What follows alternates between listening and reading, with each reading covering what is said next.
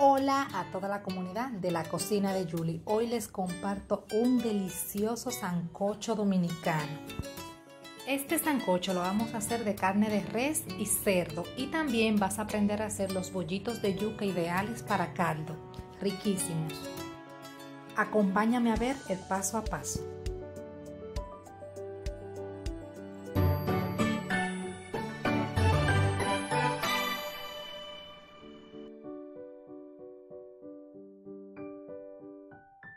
Primero que vamos a hacer es preparar nuestra pasta de ajo. Aquí tengo 8 dientes de ajo, agregué ají gustoso, un poquito de sal y un poquito de orégano. Y con este sazón vamos a sazonar la carne y también le vamos a dar sabor al sancocho. Aquí tengo una libra de cerdo y una libra de carne de res para sancocho o para sopa. Le agregué el ajo, la pasta de ajo que preparamos y también le agregué un poco de orégano entero que le da mayor sabor. Aquí le estoy agregando dos cucharadas de sazón del que yo preparo, media cucharadita de sazón en polvo y media cucharadita de otro sazón en polvo que yo lo combino, pero si usted utiliza solo uno, pues una sola cucharada. Vamos a mover todo esto muy bien. También le puede agregar en este punto a la carne un poco de agrio de naranja agria o de limón y le va muy bien. Y si quiere también le puede agregar pimienta.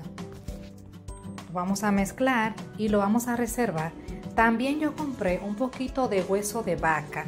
Esos huesos lo utilizan para darle sabor a los caldos. Cuando usted vaya a la carnicería usted puede preguntar por los huesitos de vaca y ellos lo van a mostrar. Yo compré un poquito y lo voy a sazonar igual como sazoné la carne. Eso es para aportarle sabor a nuestro sancocho. Aquí yo tengo media libra de hueso de vaca le agrego una cucharada de orégano entero, lo, le paso así con las manos para que se desbarate, una cucharada de sazón del que preparo, una cucharadita de sazón en polvo y la pasta de ajo que hicimos al principio. Esto lo vamos a mezclar muy bien y lo vamos a reservar. Esta carne, ambas la voy a poner en la olla de presión porque la carne de vaca y la carne de cerdo eh, son, están gruesas y puede que me dure más para ablandar. Entonces para hacer el proceso más rápido lo voy a poner en la olla de presión. Entonces vamos a agregar un poco de aceite, un poquito de azúcar y vamos a esperar que el azúcar se comience a caramelizar para agregar nuestra carne. Esto es para darle color y no esté blanca y luego sí la vamos a tapar para que se ablande. Agregamos nuestra carne con cuidado porque salpique este aceite.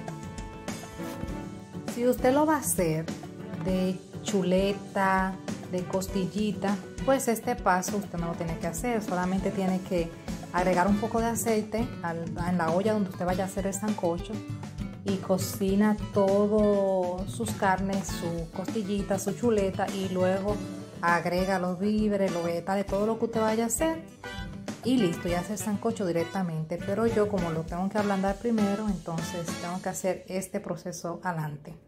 Miren el color que está tomando nuestra carne, muy bonito. Se me hace un poquito incómodo mover la carne y la cámara ahí. Pero bueno, lo estamos intentando. Cuando ya nuestra carne tome el color deseado, le vamos a agregar un litro de caldo de pollo. Si usted no tiene caldo de pollo como yo, pues usted va a agregarle el litro de agua y va a agregar el caldo de pollo entero y ahí entonces la carne no va a perder el sabor. Eso es para que nuestra carne no se ponga desabrida. Al momento de agregar el agua pierda el sabor que ya le dimos. Miren, yo la dejé sofreír un rato sin moverla y está tomando más color. La estoy moviendo más y ahora sí vamos a agregar lo que es el agua y el caldo para taparla y eso lo vamos a dejar. Mi olla de presión es lenta, yo lo voy a dejar por 20 minutos o 30, pero si su olla de presión es buena, es rápida, pues usted la deja por 15 minutos. Aquí estoy agregando el caldo de pollo, lo de barato, lo voy a mover un poco para ayudar y ahora sí lo vamos a tapar. Con este proceso de la olla de presión nuestro sancocho estará mucho más rápido. Ahora vamos a proceder a pelar nuestros víveres. Aquí yo tengo yautía morada, tengo ñame amarillo, guineíto y una libra de auyama, una libra de yautía, una libra de yuca y cuatro guineitos. Los víveres lo puse en agua de vinagre para que no se pongan prietos. Eh, aquí tengo los maíz, lo voy a picar redondito. El proceso de pelar los víveres se lo voy a subir en otro video. Para las personas que todavía no saben pelar víveres, pues ese video le ayude. Aquí con una mano de pilón, señores, fue que piqué el maíz. Y ya nuestra carne está bien blandita. Aquí le estoy pasando al caldero donde vamos a hacer el sancocho, un caldero más grande. Miren qué bonito color tiene la carne. Y aquí estoy agregando cilantro del ancho, cilantro normal, ají pimentón y también un ají cubanela. También aquí estoy agregando los víveres y el maíz. Los víveres no lo piqué muy pequeño porque se puede desbaratar. Aquí, eso que estaba en la licuadora es el sazón que yo licué. También le agregué un poco de ajo en pasta que dejé del que hicimos al inicio. Y estoy agregando agua. Usted va a agregar agua hasta donde se tapen los víveres porque la idea es que los víveres se cocinen muy bien. Miren, ya ahí está bien de agua. Lo voy a tapar y voy a dejar que la uyama y todo lo demás se ablande. Ya nuestros vegetales están blanditos, entonces la uyama es importante que la piquen grande así, porque si está muy pequeña va a ser un problema usted sacarla para poderla licuar. Eso lo vamos a sacar y los vegetales para licuarlos y darle mejor sabor a nuestro sancocho. Todavía siento que a la uyama le falta un poquito. Aquí agregué una cucharada de sal. Estoy moviendo con mucho cuidado, usted va a mover y lo voy a tapar y lo voy a dejar 5 minutos más porque la uyama siento que le falta. Mientras la uyama está, vamos a ir haciendo nuestros bollitos para el sancocho. Aquí tengo una libra de yuca y la voy a rayar del lado más pequeño del guayo. Estos bollitos son muy ricos, suavecitos. Ya que tenemos nuestra yuca guayada, entonces le vamos a sacar todo el almidón. Vamos a observar si ya la uyama está blanda. Sí, ya está blandita. La vamos a sacar con todas las verduras que agregamos y un poquito de caldo. Todo eso le va a aportar mucho color y sabor a nuestro sancocho. Hay personas que les gusta el sancocho así, sin la uyama. Entonces dejé la licuadora enfriándose un poquito, los vegetales y la uyama, para que no se bote tanto al momento de licuar. Mientras estoy sacando el almidón a la yuca, aquí le voy a agregar un poquito de ajo majado, un diente de ajo, cilantro picadito, cilantro del normal y un poco de orégano, sal y vamos a mover esto. Así de sencillo se preparan estos bollitos con orégano, cilantro, sal y si quiere le puede agregar pimienta. Y así de fácil listo. Le damos forma, yo le estoy dando esta forma así como de chulito, pero usted lo puede hacer redondo si quiere también.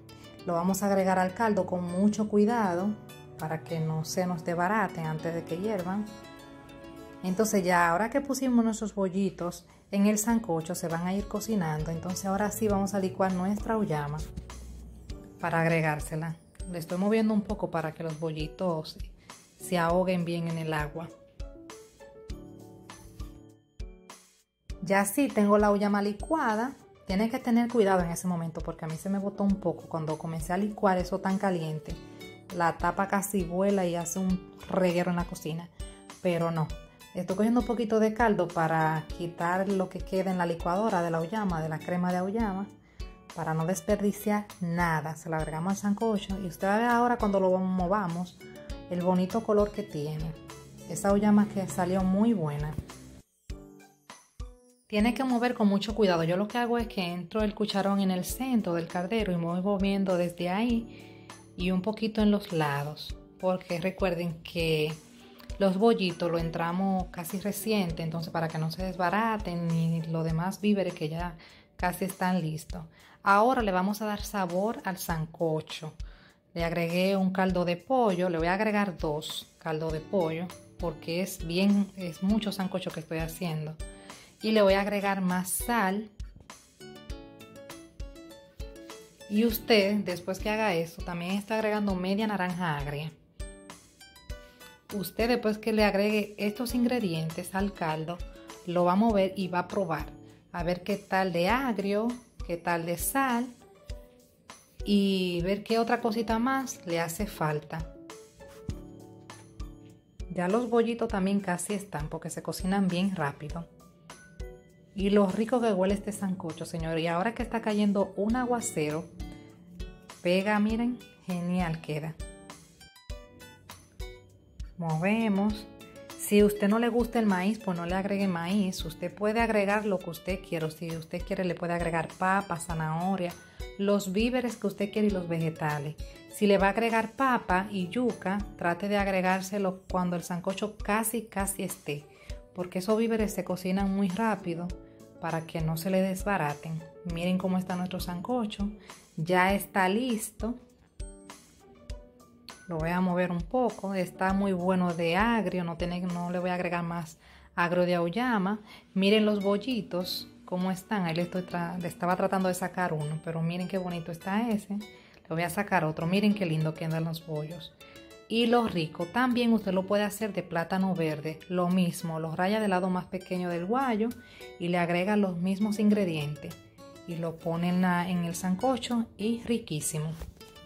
Ah, y también puse un arrocito blanco. Más adelante le comparto un tutorial de cómo hacer un arroz blanco básico. Miren hasta dónde lo dejé reducir el sancocho para que escogiera espesor y ya está listo. Aquí lo estoy sirviendo. Miren qué bonito. Miren mi arrocito blanco, el aguacate que no se queda, señores. Rico. Si usted quiere le puede agregar picante, si quiere le puede agregar limón, pero ya así se come solito. Déjenme en los comentarios cómo usted hace su sancocho, qué truco usted utiliza. Compártalo con la comunidad, así aprendemos todos.